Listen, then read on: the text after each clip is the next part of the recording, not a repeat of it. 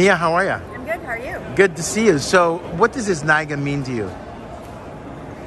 This is really the first time that all the tribes and the nations have been together. I think it's the first time kind of after after COVID. It's kind of it's nice. Um, you know, we're still remembering to, to be safe and take those extra security measures and but that's it's really nice to be able to get back to seeing you know friendly faces and people that we know and get back to networking and catching up. Yeah, like one big happy family, and it's It great is, to be here. really yeah. is. Now, you guys got a lot of exciting stuff going on, even some new properties that you're building. Can you tell us a little bit about that? We do. So we are in the process of opening two new properties. We're in construction.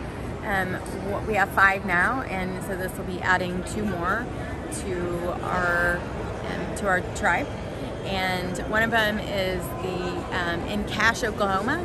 Cache, Oklahoma has a lot of history, a lot of rich history. If you're familiar with Quanah Parker, and um, one of our he was one of our former um, chiefs in our in our tribe.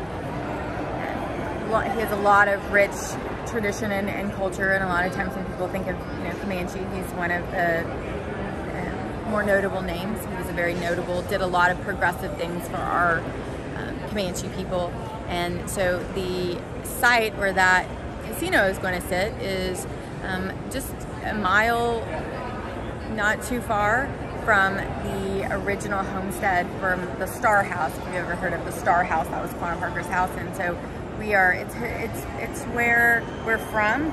Um, it's where the Comanche people who have a lot of heart in that area.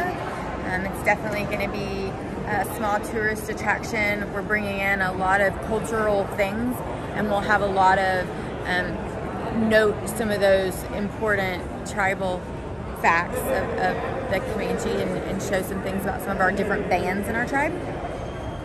That's- and uh, that's we're really excited. Yeah, that's fantastic. Sounds like you guys are really expanding your footprint, and you're you're keeping yourselves busy. That's for sure. Yeah.